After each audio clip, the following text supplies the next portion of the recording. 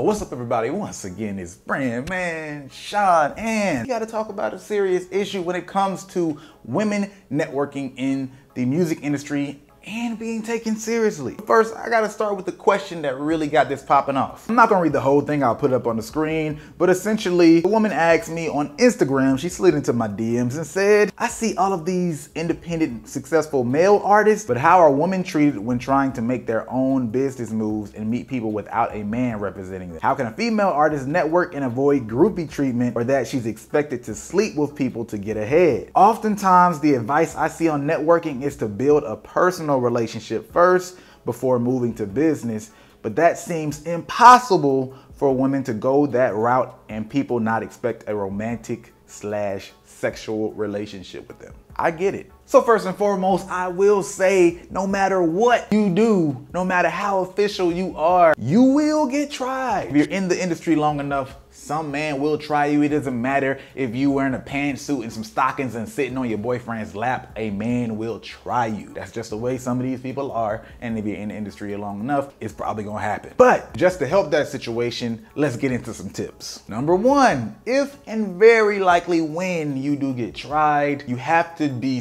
straightforward and let the person know that you're about your business and you are not interested in intimacy. I know that could be intimidating given whatever the situation might be, and that's not always easy to do as it is to say. So that leads into number two. Just in general, whether it's fair or not, as a woman, you probably need to have your business together more than anybody else. Whether that means the LLC, your split sheets, depending on what position you are, you know, you might be a PR manager, you might be an artist, but having your business, whatever that means together, moving that way accordingly so people know that you are not playing. Number three, look for a respected woman to be a mentor or sponsor for you. That way, when you get in certain opportunities, you have this person vouching for you. If this person has a lot of people's respect and they understand that that person's about their business, they're serious, they have a little authority, then they aren't necessarily going to try you if they know that you have that association. It doesn't mean they won't try you again. Dudes are gonna try no matter what. There's nothing that can stop them.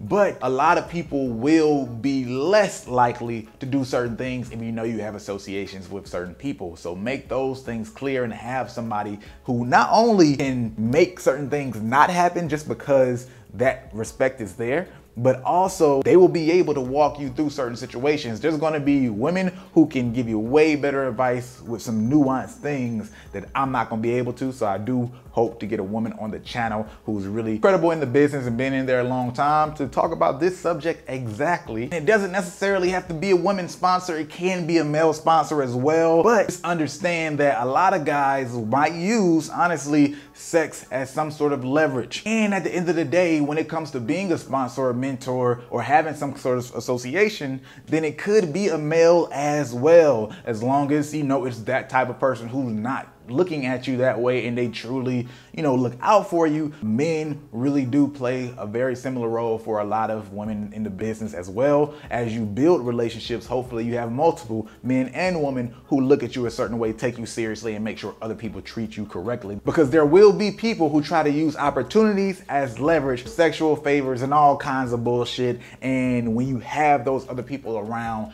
they will be able to call those people on that bullshit in situations you might not be comfortable doing yourself. Those are some small tips. There's more. I want to go deeper in this conversation, but I'm going to wait until there's a woman on this channel where we can just chop it up and I can get real deep on a lot of different scenarios for you guys or gals technically most likely in this video. But I want to hear your comments in the section below the comment section that is and especially if you've had any particular situation that you've been through that you might be able to offer advice or just an instance that happened that was wild and you want to let other people know about it put it in the comment section. And again just a reminder every Sunday I'm answering my followers questions on Instagram so hit up at brandman Sean every Sunday for the rest of 2018 and I'm answering as many questions I can. Oh, and I almost forgot to mention that at the beginning of the year, after a lot of people asked, I dropped Master Music Networking Guide. It's been helping a lot of artists, producers, engineers, so many people make a lot of quick connections in the music industry